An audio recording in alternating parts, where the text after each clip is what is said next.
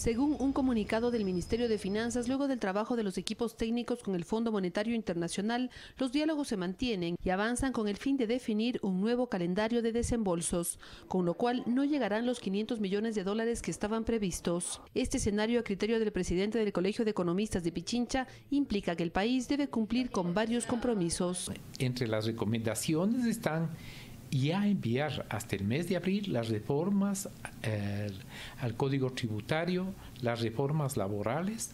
Se habló que tenía que focalizarse hasta el mes de febrero los combustibles.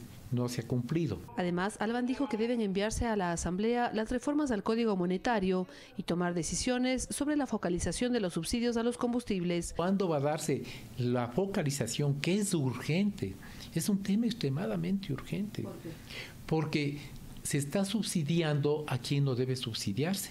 Hay estudios hechos por la Politécnica Nacional a base del mecanismo de placas, cédulas y obviamente eh, propietarios de los vehículos. Para el economista Diego Olmedo, la caída del precio del petróleo y la preocupación en los mercados internacionales por el acuerdo con el Fondo Monetario Internacional subió el riesgo país a más de 2.700 puntos y por lo tanto urge una reestructuración de la deuda. El FMI ve con mucha preocupación que se dé un default técnico, es decir, que pasemos de una situación en la que no vamos a poder pagar la deuda, seamos, nos toque renegociar la deuda. Olmedo mencionó que además el gobierno debe reducir el gasto corriente y también la masa salarial del sector público. Tiene que reducir el gasto corriente de manera radical por el lado de sueldos y salarios y compra de bienes y servicios públicos.